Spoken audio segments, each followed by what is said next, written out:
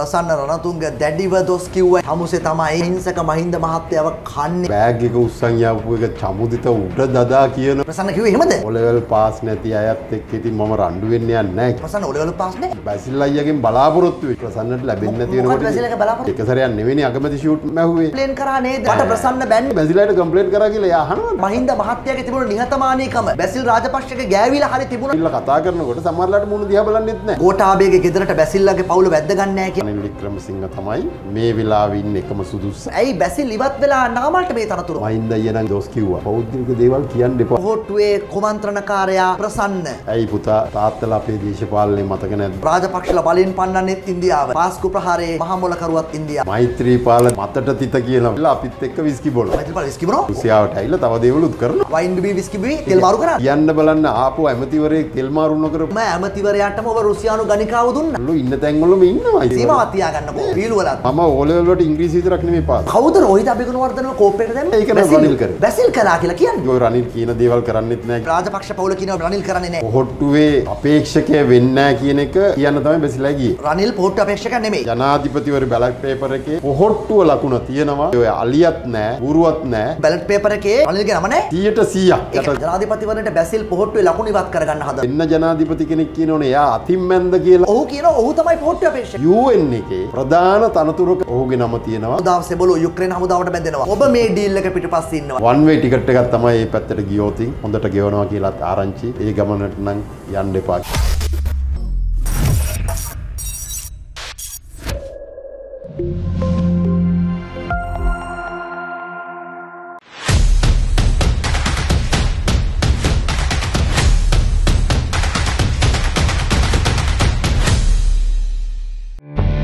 Tressmaster.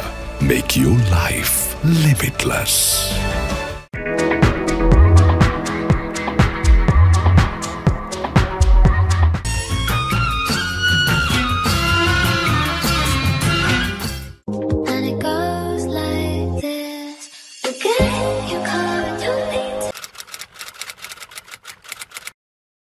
රුසියාවේ ශ්‍රී ලංකා තානාපති හිටපු උදයංග වීරතුංග මහතා සමග අපි නැවතත් සාකච්ඡාවක අ, මාධ්‍යයේ ප්‍රධාන මාතෘකාවක් වුණා. ඔබට ප්‍රසන්න රණතුංග දැඩිව දොස් කිව්වයි කියලා අ, මේ නෙළුම් ආවතේ පක්ෂ කාර්යාලයේදී තමුසේ තමයි මහින්ද මහත්තයා අහිංසක මහින්ද මහත්තයව කන්නේ කියලා. ඔබ සොරි සර් කියලා ඔළුව දෙකට නවාගෙන බයාදු විදියට යාම්තන් රිංගල එතනින් මාරු වුණා කියලා. මෙතන නම් වීරයා වගේ ඉන්නේ නේ.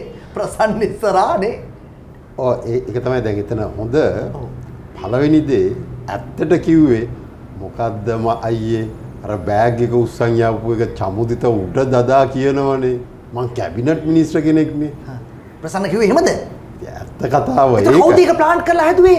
එයාගේ හොඳ ෂෝක් බොහොම මීඩියා රිපෝටර් කෙනෙක් ඉන්නවනේ ඉතින්. කවුද? ප්‍රදීප් ප්‍රසන්නගේ මීඩියා එකෙන් ප්‍රදීප්ද මේක එයා තමයි ඉතින් කතා ටික ලිව්වේ. මෙම මේ මේ මේ ඒක ප්‍රසන්න මේ තමුසේ තමයි මහින්දව කෑවේ. මහින්ද අහිංසක මාර එහෙම බැන්නේ නේ. ප්‍රසන්න අර්ජුනත් එක්කනේ මම ඉගෙන ගත්තේ කාලේ. ඉතින් ඕලෙවල් පාස් නැති අයත් එක්ක ඉතින් මම රණ්ඩු වෙන්න යන්නේ කීයටවත්. කවුද ඕලේ පාස් ප්‍රසන්නද ගිරල්ලා පෙන්වන්න කියන්නකෝ අධ්‍යාපන සාතික. ප්‍රසන්න ඕලේ වල පාස් නේ. නෑ තමයි ඉතින්. එතකොට ප්‍රසන්න ප්‍රසන්න අර නෑ ප්‍රසන්නට බොහොම හිත රිදුනා එදා බෑග් එක ගෙනාවා. ඔබ ඇත්තක්ද කිව්වේ? ඉතින් බොරුවක් නෙමෙයි. දැන් එදා ප්‍රසන්න මට කියනවා උදයන් අයියේ ඔයා එහෙම කියන්නේ අයි මට?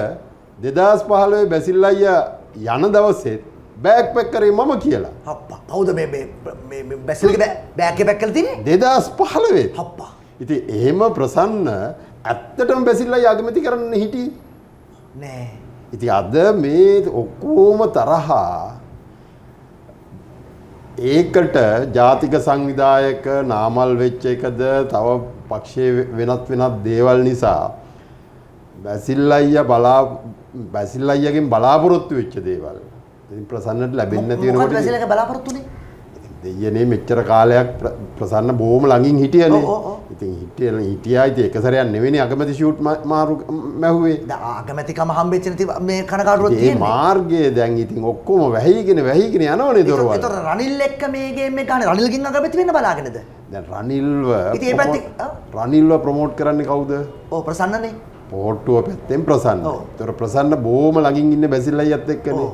එතකොට ඉතින් බලාපොරොත්තුවක් තිබුණා. අනිවාර්යයෙන්ම රනිල්ව පොහොට්ටුවේ අපේක්ෂකය කරනවා කියන එකත්. එතකොට ඒ මාර්ගයෙන් ඊළඟ අගමැතිවරය වෙන්න බලාපොරොත්තුවක් අර තිබුණා. පැත්තෙන් කතාවක් කියන්නේ මේ මේ වජිර අගමැති කරනවා කියලා.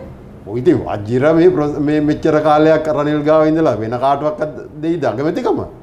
ඇති වැඩේ තියෙන මට ඇත්ත කියන්න බොරුවට නැතුව ප්‍රසන්න තමයි බැසිල් ලංකාවට නොකට බෑක ගුස්සකනාවේ. ඒ විතරක් නෙවේ ඉතින් ප්‍රසන්නගේ කටින්ම නෙළුම්මාවතේ තවත් මන්ත්‍රීවරු කීප දෙනෙක් ඉන්නකොටම කියන්නේ දෙදස් පහලවෙත් බෑක් පැක් කරපු මට බැසිල්ලයේ බෑගක පොඩ්ඩක් හට මෙයට අරංාව කියල ප්‍රශ්නයන්න ඇත්ත මට මයින්ද යනන් ඊය දොස් කිව්වා. ඔය වගේ පෞද්ගලික දේවල් කියන්න එපා කියලා ඔයත් එක්ක. එහෙනම් අද මාත කියන්න එපා කියලා. ඉතින් මාධ්‍යයට කියන්න මාධ්‍යයට. ඒතර එහෙම කිව්වා එක අද ආයි ආයි කියන්නේ. ඒ කියන්නේ උදයන්ග කන්ට්‍රෝල් නැති නෙවෙයි දැන් ඔයාගේ ප්‍රශ්නෙට මම අවංක උත්තර. එතකොට එතකොට ඔබ බැසිල්ට ගිහලා කම්ප්ලේන් කරා නේද? බැසිල් අයියේ නෑ. මට ප්‍රසන්න බැන්නා. ප්‍රසන්න මෙම කිව්වම අනේ මේ තමුසේ පැත්ත කරලා ඉන්නවා. තමුස මේ ප- තමුසේ දන්න දේශපාලනයක් තියෙනවද? ඒ මිනිහ අපිත් එක්ක පොලිටික්ස් කරන මිනිහෙක්. තමුසේ ඇවිල්ලා මේ මේ මේ අම්මා පක්ෂ කරන්න බැන්න නේද? බැසිල් අයියා එක වචනයක්වත් කිව්වේ නෑ. හැබැයි ඉතින් අර අර එක එක එක කතා ලියලා තිබුණා. ඉතින් මාධ්‍යයට ප්‍රදීප් ඊටාම ඒ කියන්නේ ඇමතිවරුන් ගාව ඉන්න මාධ්‍ය ලේකම්ලගේ අතර ඊටාම දක්ෂ කෙනෙක් කියලා මම පිළිගන්නවා. මොකද 2015 මගේ මාධ්‍ය පවා එයා හරහා ගියා කියලා අපිට චෝදනාවක් තිබුණා. එහෙමද කරගත්තේ? නෑ එහෙම නෙවෙයි යහපාලන කාලේ මම එක එක තැන්වල හිටියේ. සමහර මාධ්‍ය නිවේදන මම කරපුවා. ප්‍රදීප් යවලා තිබුණ අවශ්‍ය පුවත්පත් වලට ආ ඒ කියන්නේ ඔබ හිරේ ඉන්නකොටද හිරේ ඉන්නකොට. ආ ඒක හොඳට වැඩේ කරලා තිබුණා. වැඩේ කරලා ඒ අතින් ඔහු දක්ෂයෙක් කියන එකනේ කියන්නේ. අදටත් මම පිළිගන්නවා. පිළිගන්නවා. ඒතකොට බැසිල් බැසිල් රාජපක්ෂ මහත්තයා ඔබ කම්ප්ලේන් කරේ මොකටද ප්‍රසන්න නෑ, මහත්තයා මට මොකද බැසිල්ලගේ කම්ප්ලේන්ට් එක අනිත් එක බැසිල්ලාට කම්ප්ලේන්ට් කරා කියලා එයා අහනවද? නෑ. එහෙමනම් මොකටද ඔබ පෝස්ට් එකක් දැම්මේ? FB පෝස්ට් එකක් මහින්ද මහත්තයාගේ තිබුණු නිහතමානීකම. බැසිල් රාජපක්ෂගේ ගෑවිලා හරි තිබුණා නම් අද අද ජනාධිපති අපේක්ෂ බැසිල් මම අද ඒක අදත් කියනවා. කියන්නේ මේ රාජපක්ෂ පවුලේ මහින්ද රාජපක්ෂ කියන චරිතයත් එක්ක තියෙන ඒ ගුණාංග අනිත් අයට අඩුවෙන් ලැබිච්ච එක තමයි වැරද. එතකොට බැසිල් අයියා දෙදස් එදදා සමසය හැත්තෑව ඉඳං ඊටත් කලින් හැට නමේ වගේ ඉඳං මහින්ද අයත් එක්ක ළඟීම ඉන්න කෙනෙ. නමුත් ඔහු හැමදාම කරේ වෙන චරිතයක්.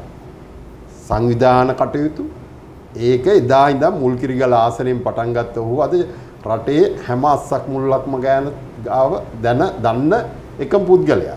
ඉති ඔහුට ඒ- ගුණාන්ගේ අඩු වෙලා තියෙනවා. ඉතින් ඒක- බැසිල් කියන්නේ උද්දච්ච ගුණමක මිනිස්සෙක්. නෑ නෑ. එහෙම කියන්න බෑ. උද්දච්ච නෙමෙයි ඔහුගේ කාර්ය. දැන් උදාහරණයක් කියමු. මහින්ද අයියත් එක්ක කෙනෙක් ඇවිල්ලා කතා කරලා උදව්වක් ඉල්ලලා යනවා. බැසිල් අයියගෙන් ඒ වගේම කවුරු හරි ඇවිල්ලා කතා කරනකොට සමහරලාට මුණු දිහා බලන්නෙත් නෑ. ඒක බැසිලු රණලු එක වගේ ඔව් රනිලුත් ඒ වගේ තමයි. ඇස් දෙක දිහා බලන්නේ නෑනේ ඔව්. නමුත් සමහර වෙලට ගෙදර යනකොට අර ප්‍රශ්නේ විසඳලා ඉවරයි බැසිල් එතකොට එයාගේ හැටි. ඒක අද වෙනස් කරන්න පුළුවන් එහෙනම් ගෝඨායිගෙත් වෙනස් කරන්න තිබුණානේ. තාම බැසිල් කුමන්ත්‍රණය පොත ගෝඨාභයගේ කියවලා නෑ නේද? නෑ නෑ දැන් නම් ගොඩක් ඒව කියවල නෙමෙයි. වෙන අය කියලා. වෙන අය කියලා ඔව් තියෙනවා. තාම බැසිල් ඉන්නේ ගෝඨත් එක තරහින් නෑ නෑ බැසිල් මේ ගෝඨගේ එකම දේ සමහර තැන් පොඩ්ඩක් ඊට කලින් ඒක නිවැරදි කිරීමක් අවශ්‍ය නම් ඒක කරන්න තිබුණ කියන එක අදත් කියනවා. ඉන්නවා. එතකොට මේ මේ මේ මේ ගෝඨාභයගේ ගෙදරට බැසිල්ලගේ පවුල වැද්ද ගන්න කියන්නේ ඇත්තද? නෑ නෑ. එහෙම එකක් නෑ. ඉතින් බැසිලා විතරයිනේ අද ඉන්නේ ලංකාවේ එතකොට ඔබට පොහොට්ටුවේ කාර්යාලයට එන්න සම්පූර්ණයෙන් දැන් තහනම් කරලානේ තියෙන්නේ? මම ඉතින් ඊයේත් ගියානේ ඉතින් එහෙමනම් මොකටද මොකද ඔබ පක්ෂ විධායක සභාව රැස්වීම නාමල් ජාතික සංවිධායක කරන රැස්වීම ඔබ හිටියේ නෑ? නෑ නෑ මං එදා නම් හිටියේ නෑ. මං එදා උසාවියේ ඇයි ඒක මහින්ද ගෙදරට ගෙනාවේ පොහොට්ටුවේ නිලුම්බවතේ කරන්න නැතුව? එහෙමනේ. ඒට ඉස්සරලා දවසෙත් දවස් කීපයකට කලින් තිබුණා පොහොට්ටුවේ කාර්යාලය තිබුණා මන්ත්‍රීවරුන්ගේ රැස්වීම. ඒක දිනේ ඔය ප්‍රසන්න මාත් එක්ක ගෝරියට ආවේ. ඉතින් එතනදිම ප්‍රසන්න දැක්කා මන්ත්‍රීවරුන්ට පමණක් තිබිච්ච සාකච්ඡාවෙත් මම ඉන්නවා. ඒක ඔබට මොකද්ද තියෙන සම්බන්ධ මේ විධායක සභාවට යන්න මන්ත්‍රීවරුන්ගේ ඔබ මන්ත්‍රීවරයෙකුත් නෙමෙයි පක්ෂ තනතුරකුත් නේ පවුලේ නිල ප්‍රකාශකයා. එච්චරනේ ඔබට තියෙන තනතුර. ඒකත් ලොකු තනතුරක්. නමුත් එදා ඒ රැස්වීමේදී බැසිල් අය බොහෝම ගෞරවණාන්තිකව ප්‍රසන්නව හෙඩ් ටේබල් එකට ගත්තා. අනිත් මන්ත්‍රීවරුන්ට වඩා වැඩි තැනක් දුන්නා.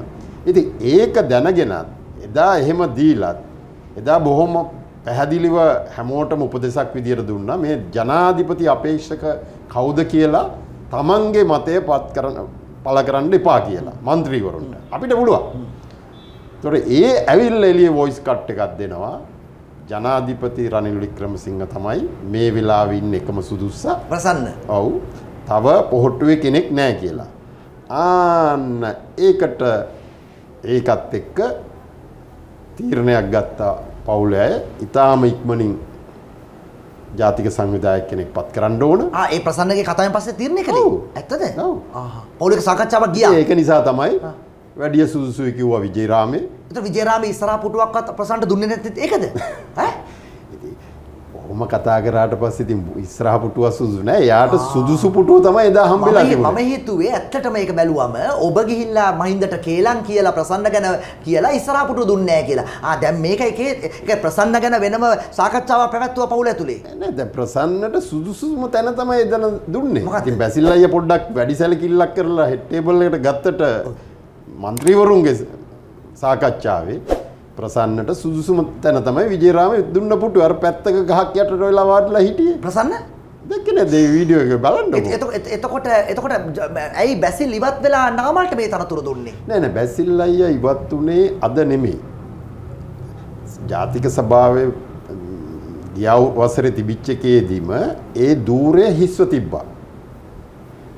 එතනදිම තීරණය කරලා තිබුණා බැසිල් අයියා අලුත් නායක අලුත් තරුණ නායකයෙකුට දෙනවා කියන එක. ඒක ඉක්මන් කරා ප්‍රසන්න. මොකද ඊළඟට එදා ඒ ඇත්තටම ඒ රැස්වීමේ ආවේ මොකද නෙළුම් මාවතේ රනිල් සමග ඉන්න අයට ලොකු සැලකිල්ලක් දැක්ව බැසිල් අයියා විශේෂයෙන් පක්ෂය දෙකට කැඩිය යුතු නැහැ කියන මතය ඔහු ඉන්නේ. නමුත් ඒකෙන් පස්සේ විජේරාමේදී ආවේ පොඩි ගෝරියක් දාලා ජාතික සංවිධායක විදියට සමාජලට ප්‍රසන්න වෙන්න පුළුවන් එහෙම නැත්නම් තව කෙනෙක් වෙන්න ආ, පුළුවන්. එහෙම සැලසුමක් තිබුණාද? ඒගොල්ලන්ගේ තිබිලා තියෙනවා. කාගේද ප්‍රසන්නලගේ? ඒ ටීම් එක. ඒ කියන්නේ කණ්ඩායම. රනිල් රනිල්ගේ ටීම් එකේ. ඔව්. එතකොට නමුත් ප්‍රශ්නේ තියෙන ඔබ එහෙම කිව්වට චමල් අ, රාජපක්ෂ ඉන්නේ අ, මේ රාජපක්ෂ කෙනලා සම්පූර්ණ තනතුරෙන් ඉවත් වෙලා දැන් මේ මේ තියෙන විරෝධතාවලින් ඈත් වෙන්න අපි වෙනම ටීම් එකකට මේක දෙමුයි කියන අදහසෙන් ඉඳලා තියෙන්නේ. චමල් අයියා කාලෙන් කාලෙට එක එක කතා කියනවා. ඔව්. එහෙමනම් ඉතින් ඉස්සරෙලා මෙයා മന്ത്രി දුරින් අයින් වෙන්නකෝ. ඉතින් එයානේ පවුලේ වැඩිමලා. ඒක නිසා චමල් අයියා සාමාන්‍යයෙන් ඔහොම කියනවා. චමල් එහෙම කියන්නේ නාමල්ට දෙන අකමැත්ත නිසාද ශශීන්ද්‍ර උඩට නෑ, එහෙමද? මතයක් තිබුණනේ රාජපක්ෂවරු ගොඩක් තැන්වල ඉන්න නිසා මේ එක්කෙනෙක් දෙන්නෙක් ඉඳලා අනිත් අය අයින් වෙන්න ඒ ඕනේ කියලා. කොහොම හරි රනිල්ගේ සෙට් එක පොහොට්ටුව ඇතුළේ ඉන්න ප්ලෑන් එක ආවේ වෙනම කෙනෙක් ජාතික සංවිධායක කරන්න. ඒක ඒ? තමයි ඒක ඒකේ මූලිකයෙක් තමයි ප්‍රසන්න. නමුත් එදා බලාපොරොත්තු නැහැ කවුරුවක්වත් එහෙම දෙයක් වෙයි කියලා. නමුත් අපි දැනගෙන හිටියා මෙහෙම දෙයකට තමයි මේගොල්ලෝ එන්නේ කියලා. ඒක නිසා තමයි ඊටාම ඉක්මනින් කෙටි පණිවිඩයකින් තැනත් මාරු කරලා පෝට්ටුවේ තිබිච්ච එක මෙතෙන්ට ගෙනල්ලා කරේ. ප්‍ර- ප්‍රසන්නගේ කුමන්ත්‍රණය බැසිල්ට ආරංචි වුණා. ඔව් දැන් ප්‍රසන්න ඉතින් තව ටික දවසකින් දැන් ඊළඟට අපේ තියෙන්නේ ලොකුම එක මොකද්ද? මැයි රැලිය. හරි. එතකොට ඒකේ සංවිධාන කටයුතු මම කැට තියලා කියන්නම්. ප්‍රසන්න සංවිධායක කටයුතු පොහොට්ටුවේ අයින් වෙනවා. අයින් වෙනවා. අයින් වෙනවා කියන්නේ දෙන්නේ නැහැ.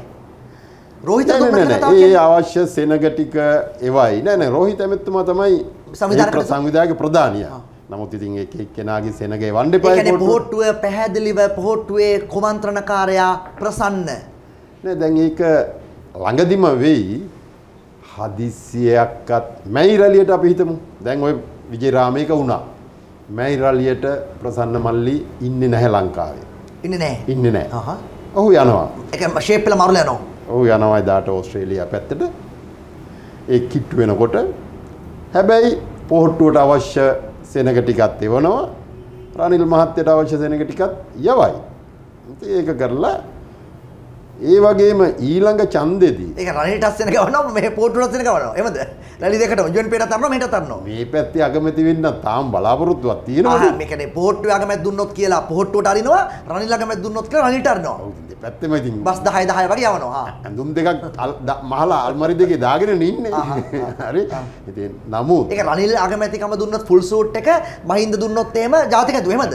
මට නම් විශ්වාසයි රනිල්ගේ පැත්තෙන් අගමැති දූරේ දෙන්න තිබුණොත් ඒක වජිරට ඇරෙන්න වෙන කාටවත් හම්බෙන්නේ හම්බෙන්නේ නැහැ. හම්බෙන්නේ වජිර ඒකට බොහොම දක්ෂයි. එතකොට මෙච්චර විදායක සභාව ඇතුලේ ගුටි බැට ගුමාරුවක් යන තත්ත්වෙට කංචන විජේසේකර අර මේ- මේ එරන්ද ගිනිගේට කොළර එක අරන් පහර දෙන තත්ත්වෙට මහින්දගේ ගෙදර යනවා කියන්නේ පෝට්ටුවද කොච්චර බංකොලොත් වෙලාද? නෑ නෑ නෑ දැන් එදා ඒ- දේ වුණානේ හරි කාංචනගේ ආවේගයත් මට තේරුම් ගන්න පුළුවන් නමුත් ඊට පස්සේ මහින්ද අය කාංචන එක කතා කරා.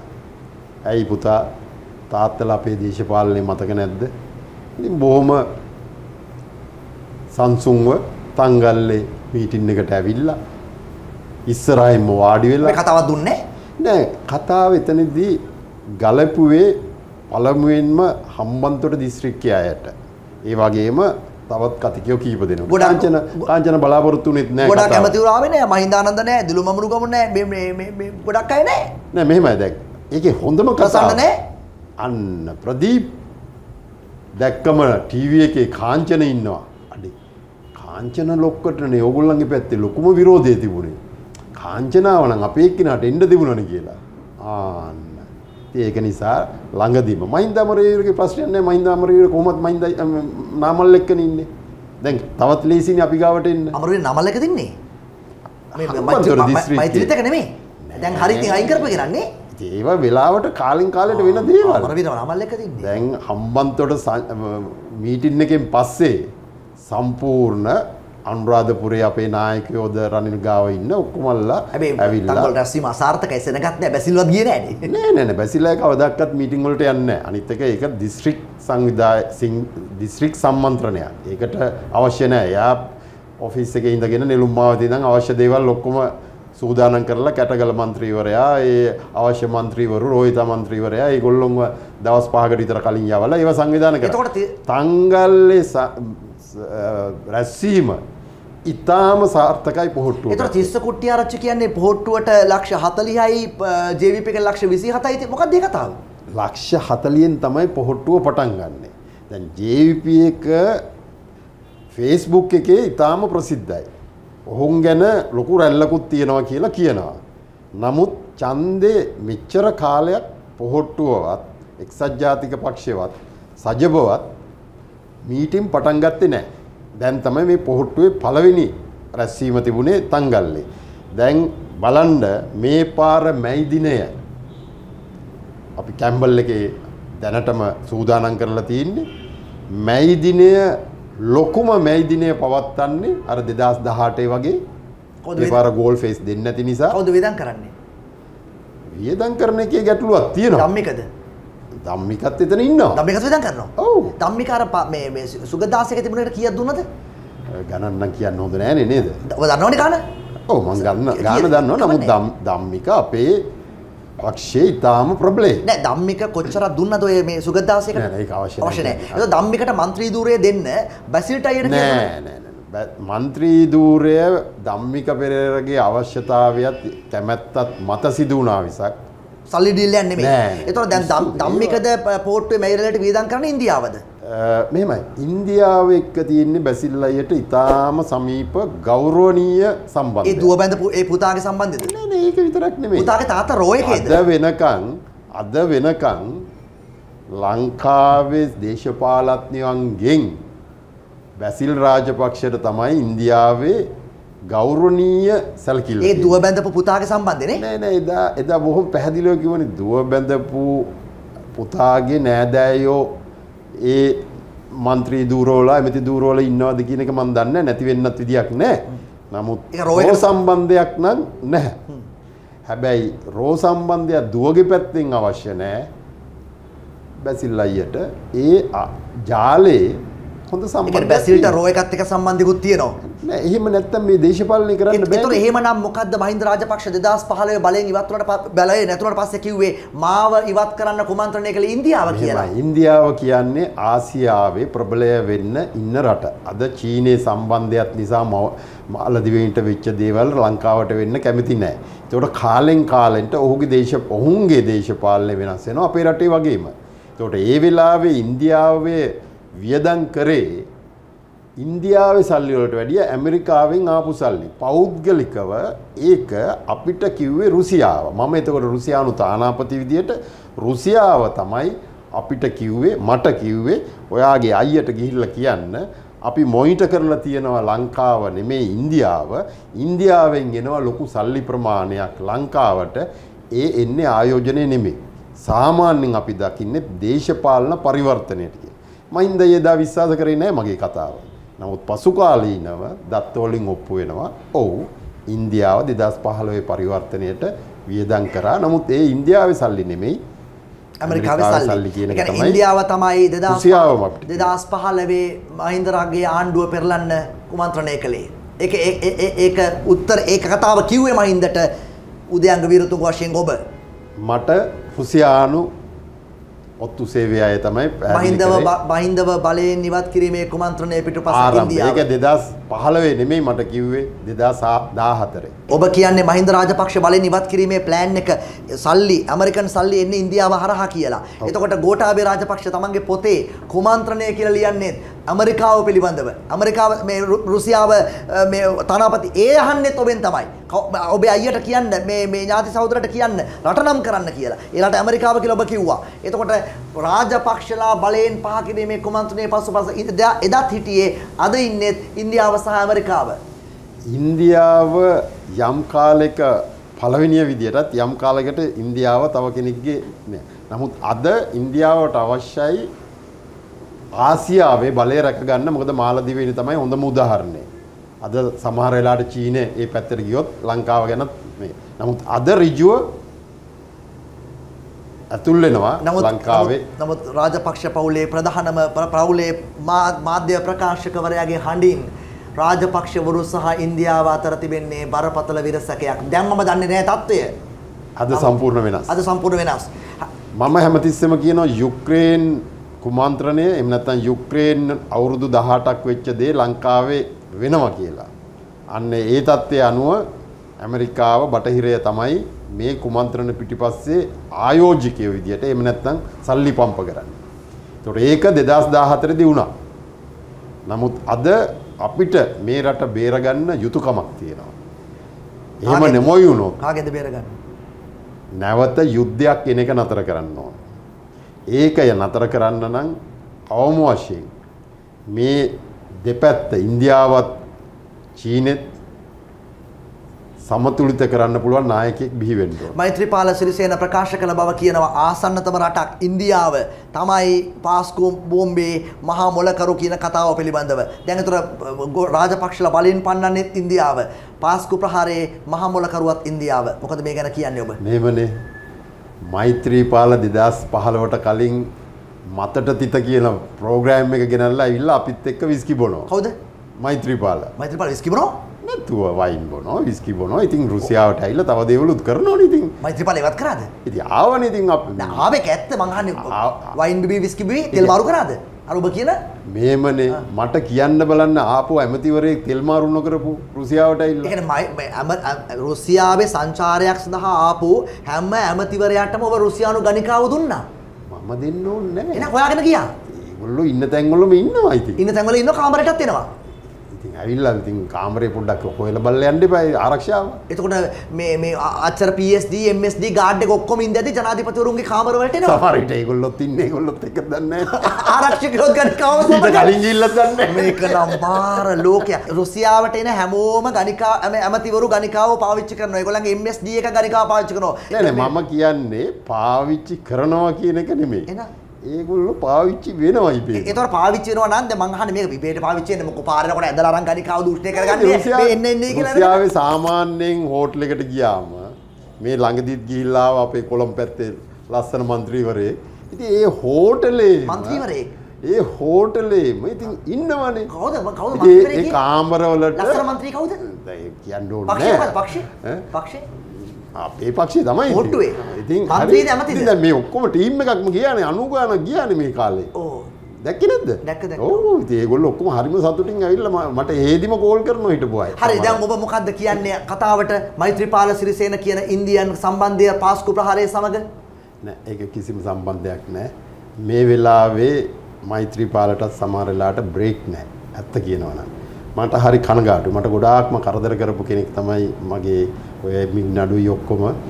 නමුත් අද ඔහු ගොඩක් අසරණ වෙලා. හරි. ඔබ කිව්වා ඔබ කිව්වා මේ කැම්බල් පිටිය තමයි රැස්වීම කරන්න කියලා. හැබැයි දැන්ට බැසිල්ට විසි පහක්වත් ගෙන්න්න ගන්න බැරුව තියෙන තත්ත්වයක් උඩ මේ නිරුම්මාවතේ පෝට්ටුව කාර්යාලට කොමද මැදිනයක් කරන්නේ?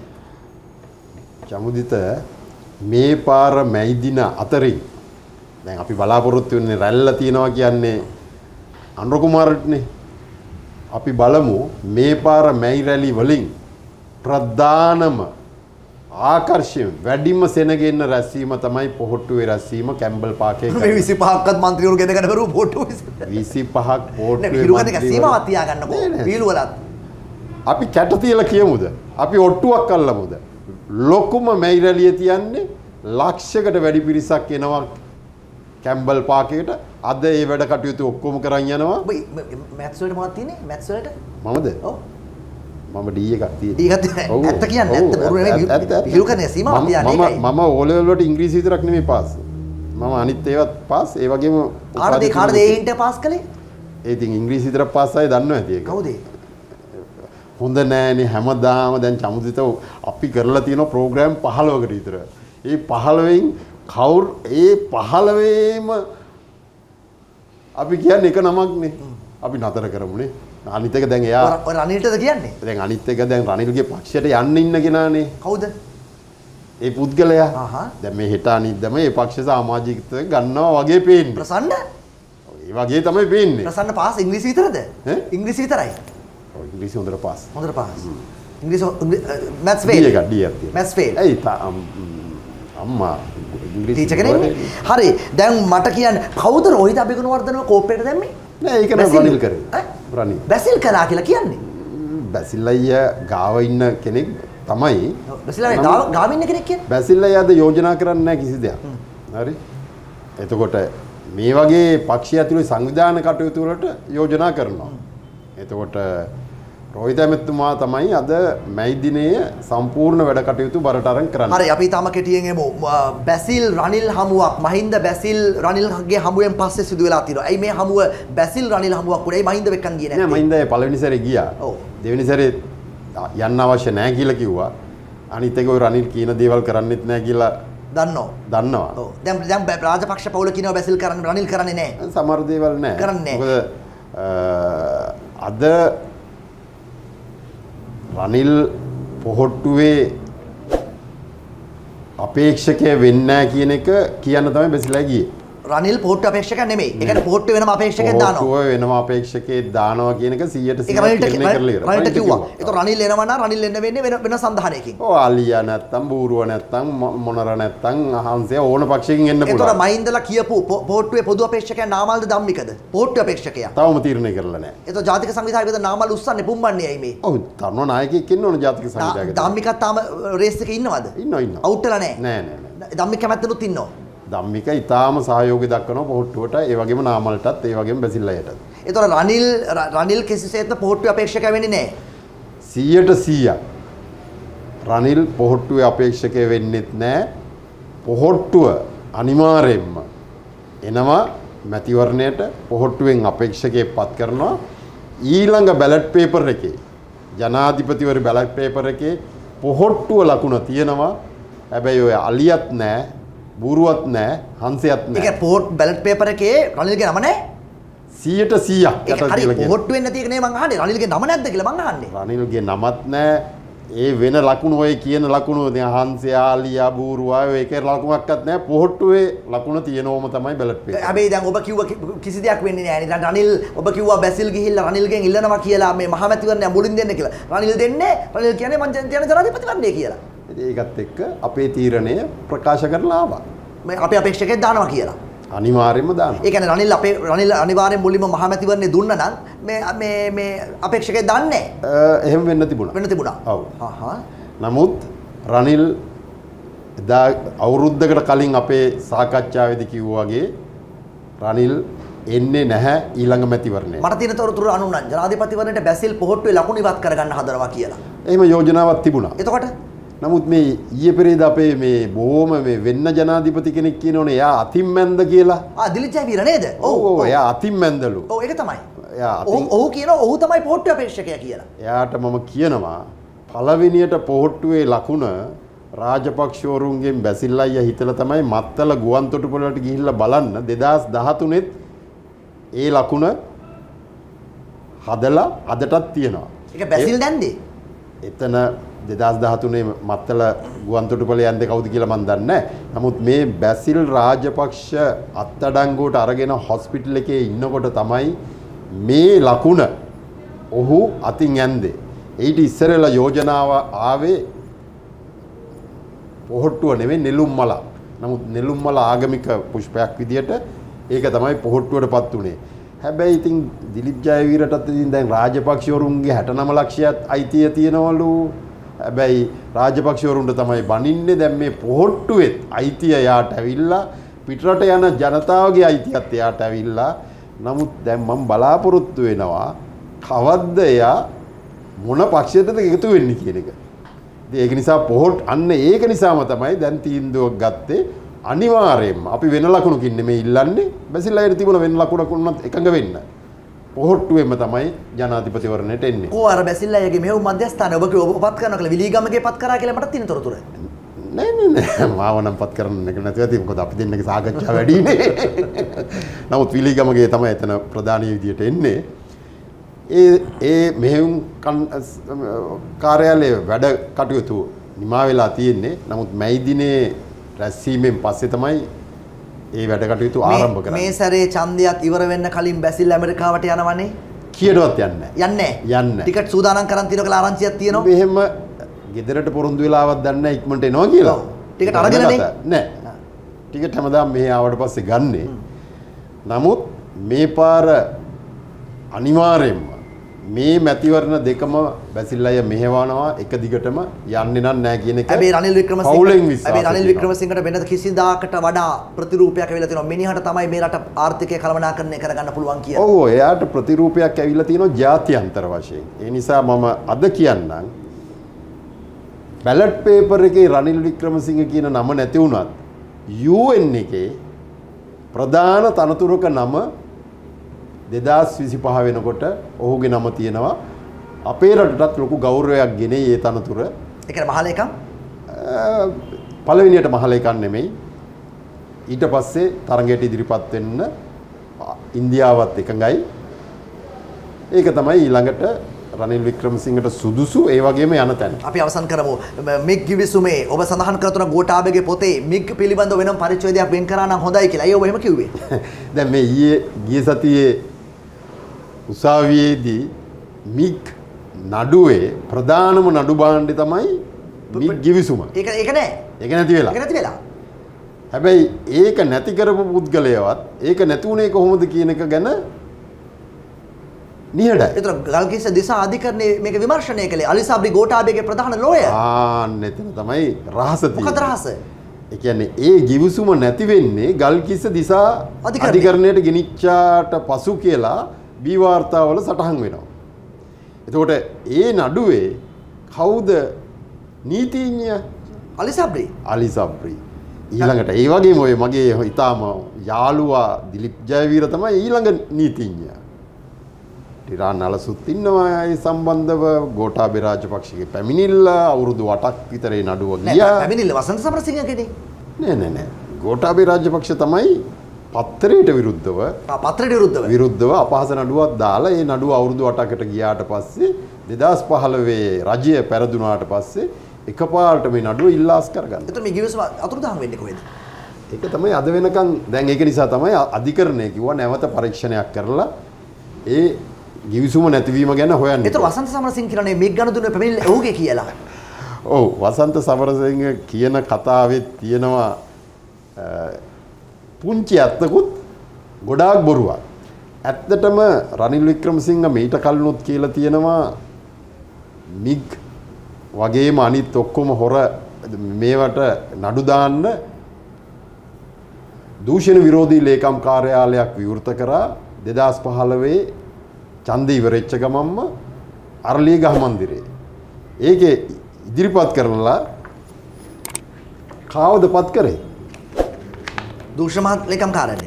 ප්‍රධානය විදියට කවුද හිටියේ එක අධ්‍යක්ෂ කරේ අන්ඩ්‍ර කුමාර දිසානායකගේ පෞද්ගලික ලේකම් විදියට හිටපු ආනන්ද විජේපාල.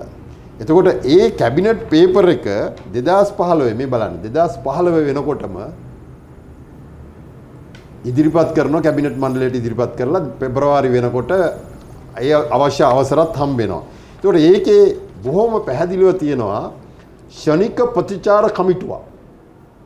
එතකොට ඒකේ පළවෙනියට තෝරගන්නේ කෞද ජනතා විමුක්ත පෙරමුණේ නායක අනුර කුමාර දිසානායක සම්බන්ධිකාරක.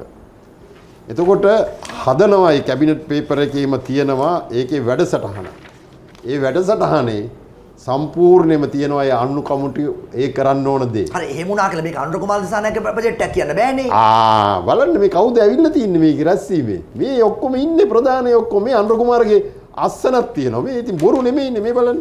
අනුර කුමාරගේ ටෙලිෆෝන් නම්බර එක අනුර කුමාර දිසානක හැබැයි සමහර අය කියන මේ නම ලිව්වේ අනුරද දන්නේ නැහැ කියලා. මොකද ඉංග්‍රීසියෙන් හින්දා. නමුත් ඒක තියෙනවා. ඒක අනුරට නම ලියා ගන්න බැරිද ඉංග්‍රීසියෙන්? නෑ ඉතින් මේ කියන කතානේ මම කිව්වේ. හරි ටෙලිෆෝන් නම්බර එක දීලා තියෙනවා. මගේ ඊටාම හොඳ මිත්‍රයා. කවුද? අනුර කුමාර. ආ. මං ග- එතකොට දැන් ඔය අනුර කුමාරගේ අලුත් ෆයිල් ටිකක් ඇවිල්ලා තියෙනවනේ. ඔව්.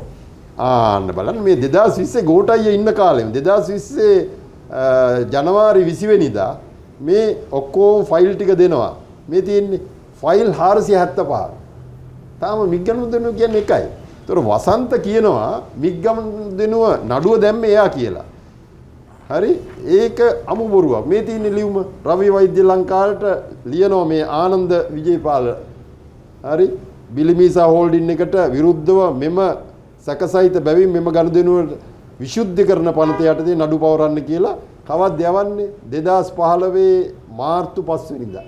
දාලා තමයි මාර්තු විසියය දාන්නේ.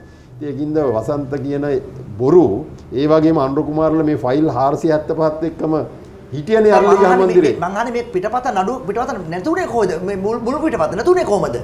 ගුවන් හමුදාව නැති කරේ ඈ? ගුවන් හමුදාව නැති කරලා තින්නේ ඒ කියන්නේ උස්සලා උස්සල වෙන්නද පුළුවන් නැති වුණා කියලනි කියන්නේ නමුත් ගුවන් හමුදාවේ ෆයිල් ඔය මිග්ගනු දෙනු වගේ ෆයිල් යන්නේ ඊට පුංචි ෆයිල් වුණත් බොහොම ක්‍රමානුකූලව තියෙන්නේ. එතකොට ජයනාත් කොළඹගේ ජයනාත් කුමාරසිංහ ඒ ෆයිල් එක බාර අරගෙන තියෙනවා. මොකද ඔහු ළඟ නෙමේ ඒක තිබෙන්න ඕන. ඔහු බාර අරගෙන තියෙනවා. ඔහුගේ කට උත්තරේ තියෙන විදිහට නම් කියලා තියෙන්නේ ගල්කිස්ස උසාවියට ගෙනියන්න කියලා. ඉතින් ඒ ගෙනිච්ච මුල් කොපිය ඔහු පෙන්ෂන් යනකොට බාර දුන්නේ නැහැ කියලා තමයි? ගුවන් හමුදාව කියන්නේ. කවුද? හිටපු අධ්‍යක්ෂක ඉංජිනේරු බර දුන්නේ නැහැ කියලා ඌ ගෙදර අරන් ගිහලා තියෙනවා. එහෙමද කියලා මම තාම දන්නේ. නමුත් බාර දුන්නේ නැහැ කියලා බොහොම පැහැදිලිව විමර්ශනයක් කරලා ගුවන් හමුදාව ඇතුළත වාර්තාවක් උසාවියට දීලා තියෙනවා. ඒකි සම්පූර්ණ වගකීම ඔහු දරන්න ඕන කියලා ඒක නිසා තමයි ඔහු පළවෙනි සැකකාරය විදියට හිටියේ. මේ නඩුවේ. නඩු මේ නඩු වලින් කවුරු හරි වැරදි කරලා තියෙනවද දැනට? අනුර කුමාරගේ නඩුව 475න් මන් දන්න අය නම් වැඩිකාර වෙලා නැහැ. අල්ලපු හොරෙක් කවුද ඉන්නේ? අල්ලපු හොරුත් නෑ. නමුත් එයා තමයි ෂණික විරෝධී මේකේ ඉන්නේ. මේකේ ෂෝක් කතාවක් තියෙනවා ජමුදිත මේක කියන්නම ඕනේ. දැන් ඒගොල්ලන්ගේ විදියට මේ කරන්න ඕන වැඩ කටයුතු ක්‍රියාමාර්ගවල තියෙනවා කෙටි කාලීන දීර්ඝ කාලීන කියලා. වැටලීම් අත්අඩංගුවට ගැනීම ප්‍රශ්න කිරීම අධිකරණයට ඉදිරිපත් කිරීම පිළිබඳ අවශ්‍ය පරිදි ජනමාධ්‍ය හරහා දිනපතා ප්‍රසිද්ධ කිරීම අත්‍යවශ්‍යයි. ඒක ලස්සනට කරා. නඩුවලින් හොරු ඉන්නවද නැද්ද කියලා දන්නේ නැහැ. අලි නඩුවද අර නඩුවද මේ නඩුවද? දැන් මිග් නඩුවම අවුරුදු 9ක්නේ. අඩු ගානේ අධිකරණයටවත් එන්නේ නැහැ නේ නීතිපති දෙපාර්තමේන්තුවේ නිලධාරී. ඉතින් එහෙම නඩු දාලා මිනිස්සු රවට්ටනවානේ. හරි බොහොම ස්තුතියි මට ඉතාම කෙටි උත්තරයක් දෙන්න. දැන් අපේ හමුදාව සෙබළු යුක්‍රේන හමුදාවට බැඳෙනවා. රුසියන් හමුදාවට බැඳෙනවා. මේ යනවා. ලක්ෂ ගණන් වලට ඩීල් එකකට යනවා. ඒවා ඇතැම් අය මේ ඩීල් වලට මේවා අරන් යනවායි කියලා කරන්නේ. රුසියාව යුක්‍රේනය කිව්වොත් අපිට පේ මතක් වෙන්නේ පුටින්ටත් වඩා උදයන්ග විරුතුංග. ඔබ මේ ඩීල් එක පිටපස්සේ ඉන්නවද? ඔබ තරම් කුප්‍රකට චරිතයක් ඒකයි. ඔව් මෙහෙමයි මම අර යුක්‍රේන් හමුදාවට ආයුධ දුන්න කියලාත් මට චෝදනාවක් අනිවාර්යෙන්. තියෙනවනේ. දුන්නලා ආයුධ හරි. නේද? නෑ ඉතින් එදා ඉතින් ආයුධ දුන්නොත් මං පූටින්ගේ ඒජන්ට් කෙනෙක්නේ. නමුත් ඇත්තට මං ඉල්ලා සිටිනවා මේ ගොඩක් අ, තරුණ අය යනවා ඒ යුද්ධෙට රුසියාව පැත්තට විතරක් නෙමෙයි යුක්‍රේන් පැත්තටත් ගිහිල්ලා ඉන්නවා දහස් ගාණක්. මම නම් නැවතත් ඉල්ලා සිටිනවා. වන්වේ ටිකට් එකක් තමයි ඒ පැත්තට ගියෝතින් ඒ ඔවුන් ඔවුන්ව සමහර ඒජන්ලා රවට්ටනවා මේ මුදාගත්ත ප්‍රදේශවල ආරක්ෂාවට විතරයි ගෙනියන්නේ කියලා. නමුත් ඔවුන් ඔවුන් යන්නේ ඇත්තටම යුද්ධයකට මේ ලංකාවේ තිබුණු යුද්ධයට වැඩිය ලොකු යුද්ධයක් ඒක. ඒ නිසා මම ඉල්ලා සිටිනවා. සල්ලි අවශ්‍යයි හොඳට ගෙවනවා කියලාත් ආරංචි. නමුත් ඒ ගමනට නම් යන්න එපා කියලා. බොහොම ස්තුතියි රුසියාවේ හිටපු ශ්‍රී ලංකා තානාපති උදයංග වීරතුංග මහතා සමග අපි සාකච්ඡා කළේ ස්තුතියි බොහොම ස්තුතියි.